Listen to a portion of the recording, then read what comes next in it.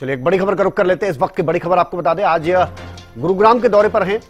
पूर्व सीएम मनोहर लाल और दोपहर 12 बजे वो बीजेपी कार्यालय पहुँचेंगे। यहाँ पर एक प्रेस कॉन्फ्रेंस का आयोजन किया गया है, जिसे आपको बता दें कि मनोहर लाल की तरफ़ से पत्रकारों से वो रूबरू होंगे और अहम जानकारियाँ उनकी तरफ़ से दी जाएँगी।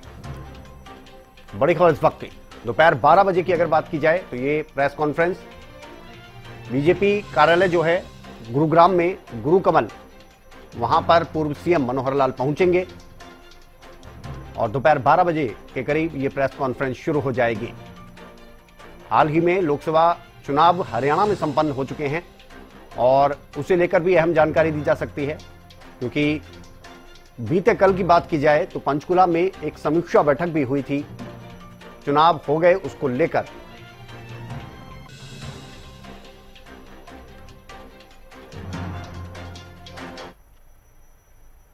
और चलिए एक और बड़ी खबर का रुख कर लेते हैं इस वक्त की बड़ी और अहम खबर आपको बता दें।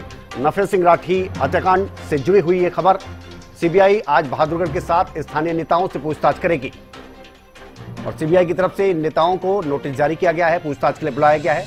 25 फरवरी का वो दिन था जब नफे सिंह राठी की हत्या कर दी गई थी। इस मामले में अब सीबीआई की तरफ़ से जाँच तेज कर दी गई है। तो आज बहादुरगढ़ के जो स्थानीय नेता हैं, सात ऐसे नेता हैं जिनसे की पूछताछ की जाएगी। इनको नोटिस जारी किया गया, इनको बुलाया गया है पूछताछ के लिए। 25 फरवरी की अगर बात की जाए 25 फरवरी को नफे सिंह राठी की हत्या कर दी गई थी। और तब से लेकर अब तक की अगर बात की जाए तो इस मामले में अब सीबीआई के पास क्योंकि ये केस पहुँच चुका है तो सीबीआई लगातार इस मामले में जाँच कर रही है। सीबीआई की तरफ़ से लगातार तथ्यों को खंगाला जा रहा है। इससे पहले जब आपको बता दें, सीबीआई की टीम बहादुरगढ़ पहुँची थी तो उस समय जो गाड़ी थी, उस गाड़ी को भी देखा गया था। उसमें सबूत निकालने की कोशिश की गई थी। नफे सिंह राठी हत्याकांड से जुड़ी ये बड़ी खबर इस मामले में आज सात स्थानीय नेताओं से पूछताछ की जाएगी। बहादुरगढ़ के ये सात स्थानीय नेता जिनको नोटिस जारी किया गया है, सीबीआई की तरफ़ से सीबीआई इनसे पूछताछ करती नज़र आएगी।